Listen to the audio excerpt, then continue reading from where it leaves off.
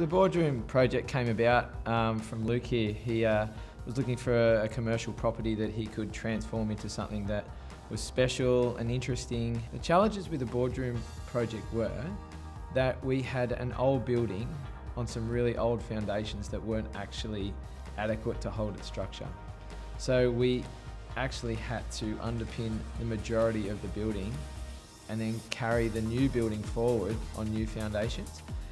And the biggest hurdle in the actual boardroom project was the guy to my left. uh, yeah, we, we had goalposts move every day, and it wasn't just Luke here.